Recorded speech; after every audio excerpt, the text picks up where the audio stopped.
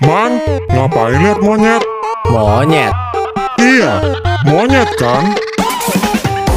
Ini simpanse, bukan monyet. Ini orang hutan, bukan monyet.